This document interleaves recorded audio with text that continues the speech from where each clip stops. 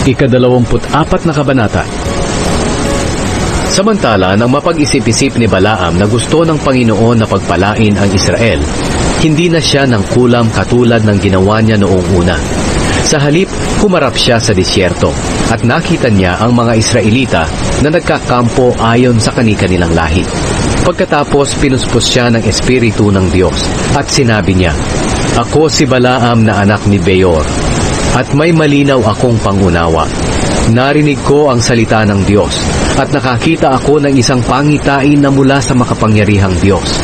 Nagpatira pa ako at nagpahayag siya sa akin. Ito ang aking mensahe. Anong ganda ng mga toldang tinitirhan ng mga mamamayan ng Israel na mga lahi ni Jacob. Katulad ito ng mga nakalinyang palma o ng mga tanim sa tabi ng ilog. Katulad din ito ng puno ng aloe na itinanim ng Panginoon o ng mga puno ng sedro sa tabi ng tubig. Umaapaw ang mga tubig sa kanilang mga lalagyan at nagtatanim sila ng buto sa mga lupang sagana sa tubig. Ang kanilang hari ay magiging mas makapangyarihan kaysa kay Agag na hari ng Amalekita. At ang kanilang kaharian ay magiging tanyag. Inilabas sila ng Diyos sa Ehipto. Para sa kanila katulad siya ng isang malakas na toro. Lulupigin nila ang kanilang mga kaaway tutuhugin sa tulis ng pana at dudurugin ang kanilang mga buto. Katulad sila ng mga leon na kapag nakatulog na ay wala ng mga ngahas pang gumising sa kanila. Pagpapalain ang mga nagpapala sa kanila at susumpain ang mga sumusumpa sa kanila. Dahil dito, matindi ang galit ni Balak kay Balaam. Isinuntok niya ang kanyang kamao sa kanyang palad at sinabi, Ipinatawag kita para sumpain ang aking mga kaaway, pero binasbasan mo pa sila ng tatlong beses. Umuwi ka na lang. Nangako ako sa iyong babayaran kita ng malaking halaga, pero hindi pumayag ang Panginoon na matanggap mo ang bayan. Sumagot si Balaam kay Balak, Hindi ba't sinabihan ko ang iyong mga mensahero na kahit ibigay mo pa sa akin ang iyong palasyong puno ng pilak at ginto, hindi ako makakagawa ng sarili kong kagustuhan, masama man ito o mabuti. Kung ano ang sinasabi ng Panginoon sa akin, iyon lang ang aking sasabihin. Uuwi ako ngayon din sa aking mga kababayan. Pero bago ako umalis, paaalalahanan muna kita kung ano ang gagawin ng mga Israelitang ito sa iyong mga mamamayan balang araw.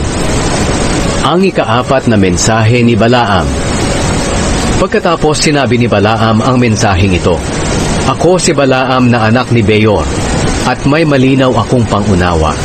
Narinig ko ang salita ng kataas-taasang Diyos, at nakakita ako ng pangitain mula sa makapangyarihang Diyos.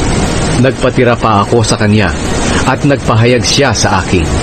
Ito ang aking mensahe. May nakita ako sa aking pangitain na hindi pa nangyayari. Sa hinaharap, mamamahala ang isang hari sa Israel mula sa lahi ni Jacob. Ibabagsak niya ang mga Moabita at ang lahat ng lahi ni Seth. Sasakupin niya ang Edom na kanyang kaaway na tinatawag din na Seir.